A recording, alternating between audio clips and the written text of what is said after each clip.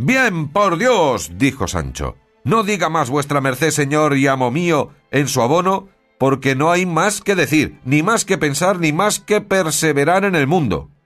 Y más que negando este señor como ha negado que no ha habido en el mundo ni los hay caballeros andantes, qué mucho que no sepa ninguna de las cosas que ha dicho. Por ventura, dijo el eclesiástico, ¿sois vos, hermano, aquel Sancho Panza que dicen a quien vuestro amo tiene prometida una ínsula? Sí soy, respondió Sancho, y soy quien la merece tan bien como otro cualquiera. Soy quien júntate a los buenos y serás uno de ellos. Y yo soy de aquellos, no con quien naces, sino con quien paces, y de los quien a buen árbol se arrima, buena sombra le cobija. Yo me he arrimado a buen señor, y a muchos meses que ando en su compañía, y he de ser otro como él, Dios queriendo, y viva él y viva yo, que ni a él le faltarán imperios que mandar, ni a mí ínsulas que gobernar.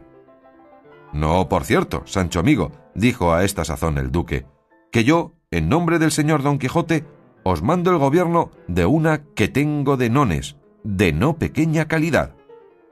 Híncate de rodillas, Sancho, dijo Don Quijote, y besa los pies a su excelencia por la merced que te ha hecho.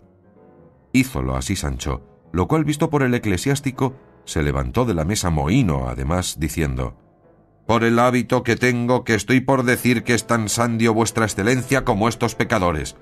Mirad si no han de ser ellos locos, pues los cuerdos canonizan sus locuras. Quédese vuestra excelencia con ellos, que en tanto que estuvieren en casa me estaré yo en la mía y me excusaré de reprender lo que no puedo remediar.